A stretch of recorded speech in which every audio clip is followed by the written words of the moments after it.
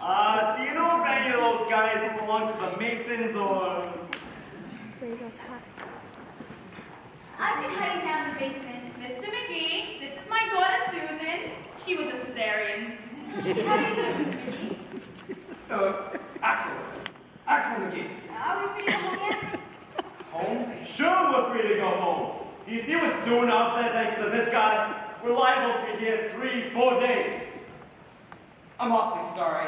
I realize this is a horrible inconvenience. I think it's fun.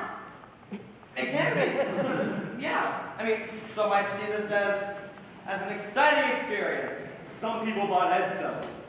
We could be worse off. This place is lovely.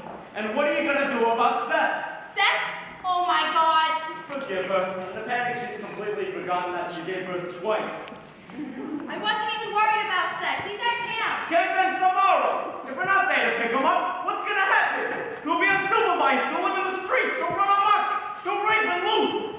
That's after your brother. I just thought of something. Susan's getting married next week. Oh my god, that's right. I have a deposit on the hall. Um, gee, must be off anxious to return home then. That's a long story, Mr. Magee. Let's not discuss it. The date's been set. Well, you may have to push the date back. So you better call the Renaissance Luau and get our deposit back. You better call Donald. He'll be worried sick. I'll call. Mr. Magee, what's the longest anyone's ever had to stay here?